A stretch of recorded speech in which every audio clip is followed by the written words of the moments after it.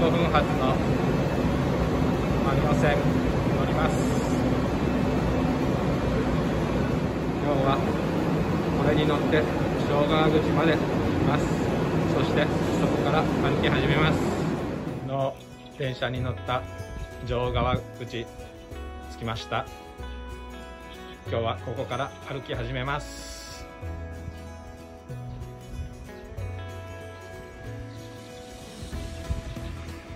小川ですね。小川橋渡ります。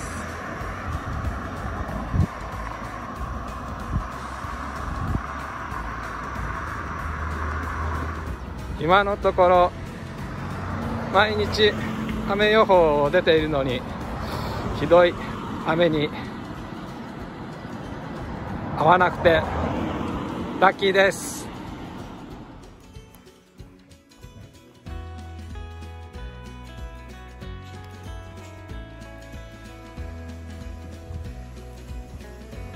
ただいまはこういうところを歩いております。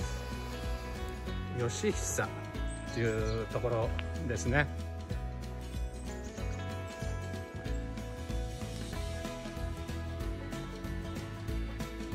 昔の街道沿いって感じですね。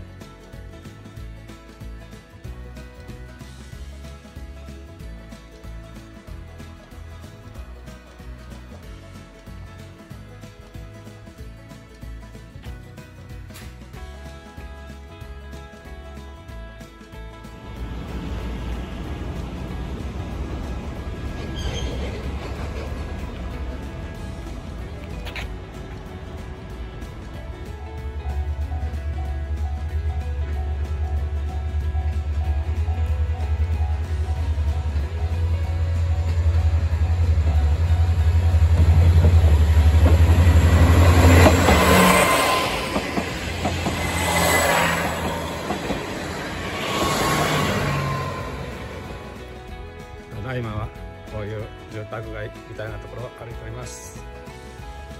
少し街道っぽくなってきたかな。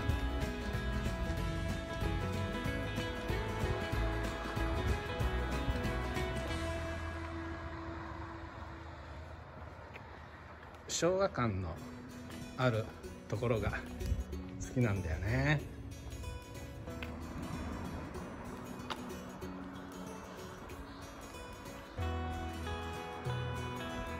右方ちょっと裏道行ってみます。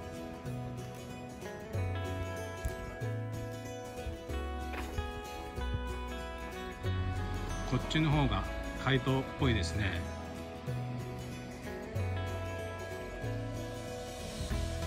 右方向です。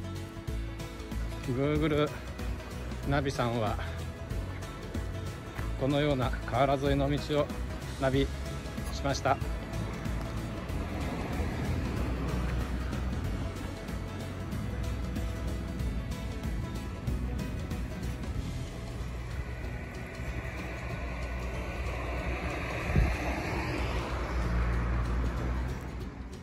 公園みたいなのがありました。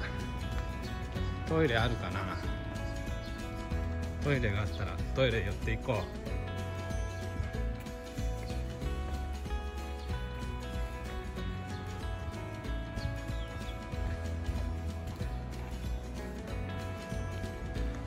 トイレありました。花屋町っていうのがあるのでそこが歩いて行こうと思います。すげえ。ここ街道みたいだね。昔の。すごいです。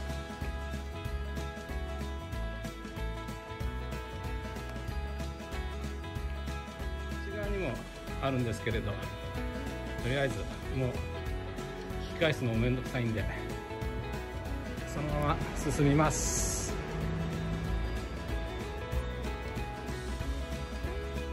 ごいですねこれね。こんなのも知りませんでした。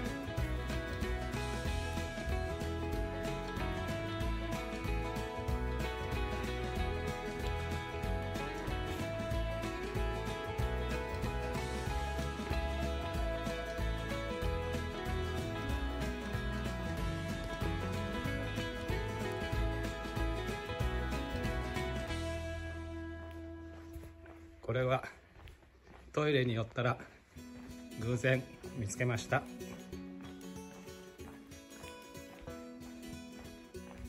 れは何でしょうか。分かれ道。あっちは通れないのかな。あっちは通れないですね。こっちだ。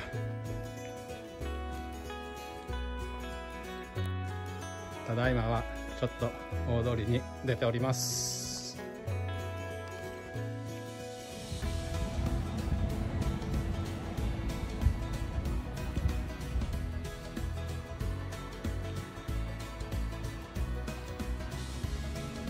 こんなのもありました。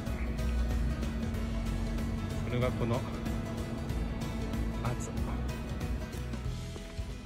また街道っぽくなりました。先ほどまでは田んぼの中の新興住宅地みたいなところを歩いておりましたけれど今はこうなっております。昔宿場町だったのかもしれないですね。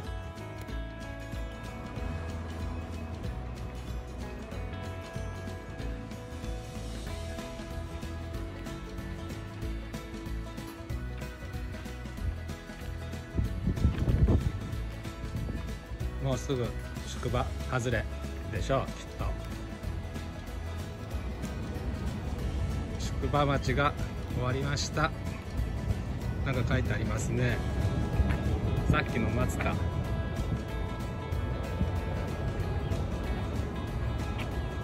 本読みながら歩いちゃいけませんよなんちゃって自分も歩きスマホやっちゃってます宿場町が終わったらこういう道になっております。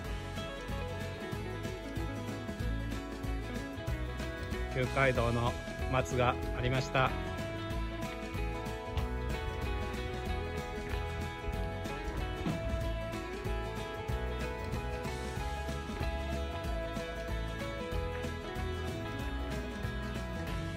旧北陸道のこれなんて読むんだろう。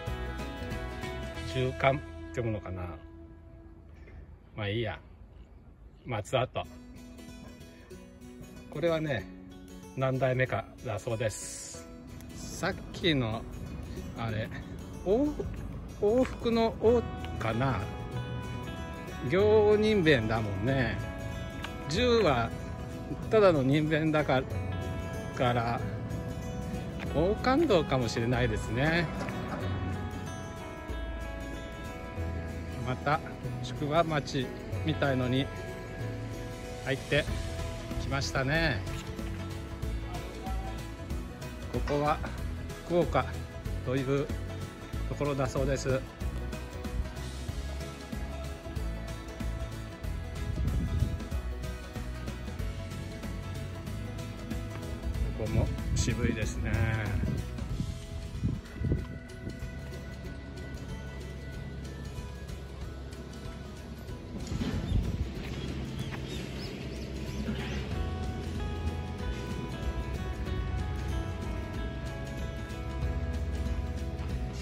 こういう街並みが残ってるっていうのがすごいですね。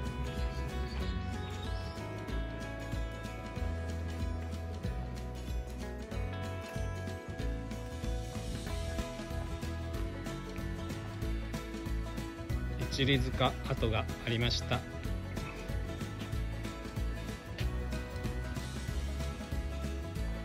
また宿場町のような町に並みになってきました。ここはどこだ？右方向です。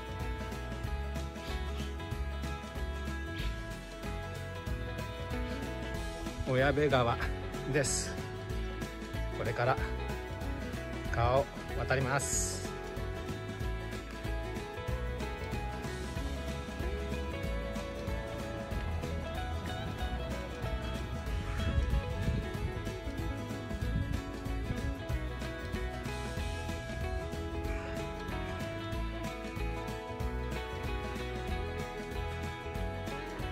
鶴木駅到着しました。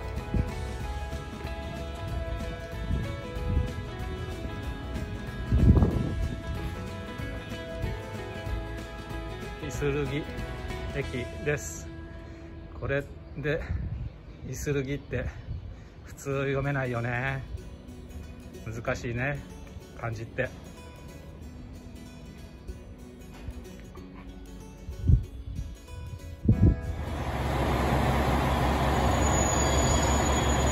ごい年季が入ってる自動車ですねはい、こんにちは。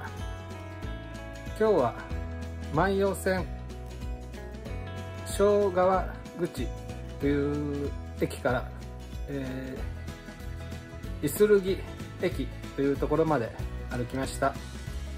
総歩行距離は27.1キロ。そうだな。今日はね、なんかね、旧北陸道っていうのを少し体験できたような気がしました。明日は本物の本物っていうか旧北陸道山越えして金沢まで行く予定です。明日はねちょっとね山越え山道になるんでちょっと大変かもしれません。距離もね今日よりちょっと長くなりますので。そうだな。まあいっか。今日はこれくらいで。ご視聴いただきありがとうございました。よろしければチャンネル登録お願いいたします。